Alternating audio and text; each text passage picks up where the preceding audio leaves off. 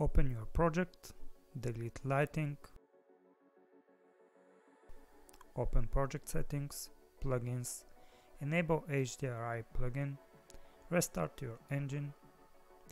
type RHI, change default RHI to DirectX 12, enable DirectX 11 12,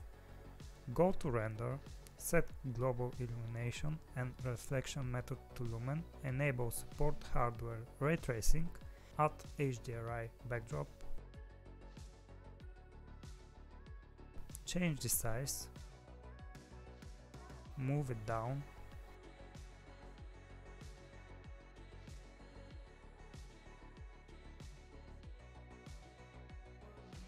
add your HDRI texture to your project,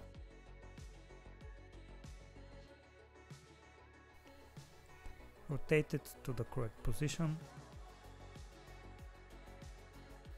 add directional light and sky atmosphere,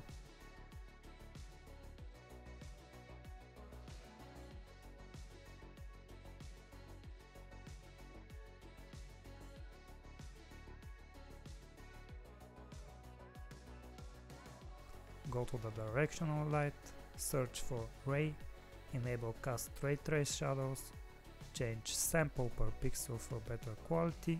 change shadow source angle for softer shadows.